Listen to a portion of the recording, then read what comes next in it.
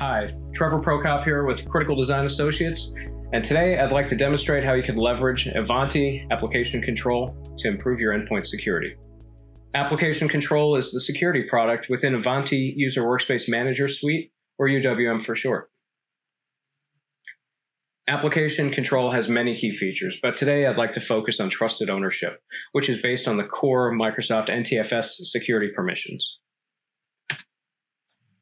Simply stated, trusted ownership is a feature that prohibits software from launching if it was not placed on the workstation by a trusted owner. By default, if the NTFS file owner is not one of four trusted owners, as seen in the screenshot to the right, the application cannot run.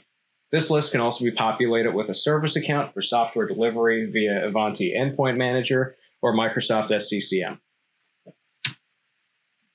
Application control uses secure filter drivers and Microsoft NTFS security policies to intercept all execution requests. Execution requests go through the app control hook, and any unwanted applications are blocked. As you can see in the screenshot, administrators installed this application, and therefore users will be permitted to execute it. In addition to executable files, application control also manages entitlement to PowerShell batch, VBScript, registry, registry files, uh, a number of other items as well. So you can see here in this uh, screenshot of the configuration, uh, validate PowerShell scripts here, which will uh, deny PowerShell.exe, PowerShell or if a PS1 file is executed by a user, if the file is not owned by a trusted owner, then it won't be permitted to run. Business cases around this that I'd like to demonstrate is prohibiting users from in, installing and executing portable or third party applications, prohibit malware execution from malicious attachments, and also to prohibit fileless malware execution via PowerShell. These are a few business cases I'd like to demonstrate and also how you too can be protected with Ivanti application control. So let's get into the demo what we have here, I have two VMs. One, uh, both are Windows 10, 64-bit.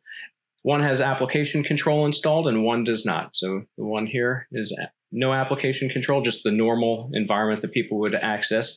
So what I'd like to show here is a user that downloaded a uTorrent portable application, and they can click it, install the application, and you see I already completed the installation. I can execute uTorrent. Uh, this is a non-administrative user, by the way.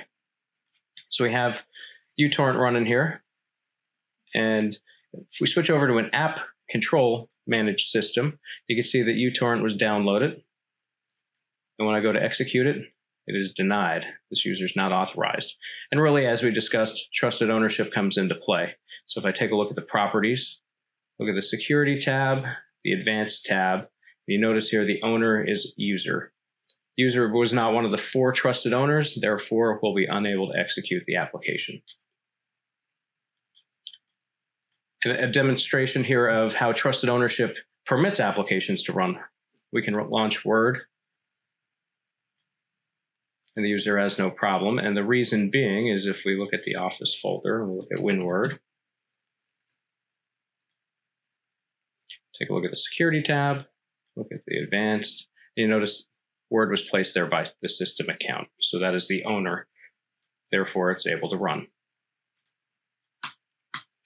Another example to take a look at here is fileless malware. A lot of times nowadays that uh, PowerShell is used to download code from the internet and execute it on the workstations. So you can see here in this instance, I'm able to launch PowerShell I have a PowerShell window waiting here. It's going to execute this line of code. So this is a one-liner to invoke Mimikatz.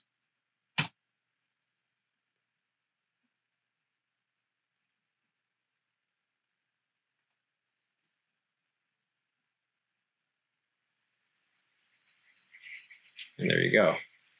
If we had app control loaded,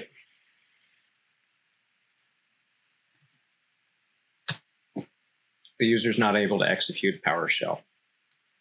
And it also comes into play here for just running the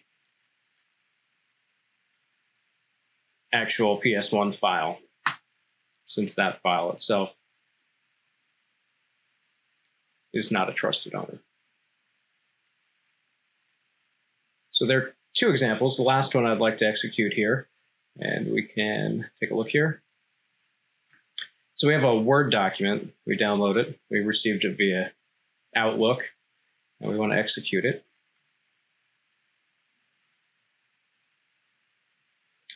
And we have just enable macros. We're just waiting a few minutes here. You notice the file name has changed. I'm just going to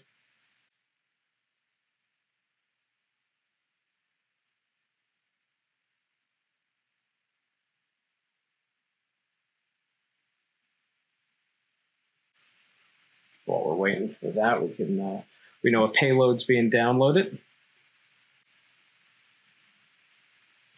There we go. As you see, we now have CryptoLocker loaded. Our files are encrypted.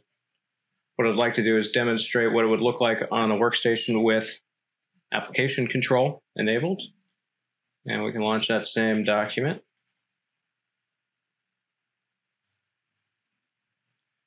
And we will also enable the content just the same. And you see the file name did change its title up here. This user is not authorized to execute CryptoLocker. So there you can see how we can just close out of that document. Application control protected us. And if we switch over here, these files here are encrypted. So thank you. That concludes my demo. And thank you for your time.